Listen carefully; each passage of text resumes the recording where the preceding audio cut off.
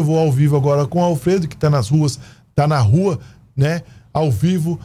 Alfredo, a informação está é, tá contigo. É, Israel, tem que começar a semana com o pé direito e, é claro, final de ano, época de garantir a carteira assinada para começar ano novo com o emprego certo. Vamos com as vagas de emprego na Casa do Trabalhador nesta segunda-feira, aonde tem 312 vagas disponíveis, entre elas duas para agente de vendas de serviços, são duas vagas duas para açougueiro, cinco vagas para auxiliar de jardinagem de conservação de vias permanente.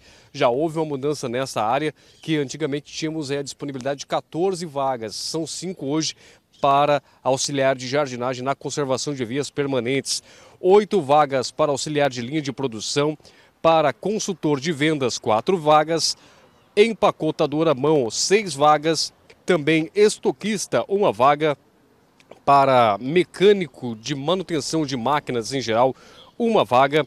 Para motorista carreteiro, 16 vagas. Para motorista de caminhão, 20 vagas disponíveis. Motorista de caminhão guindaste pesado, MUC, uma vaga.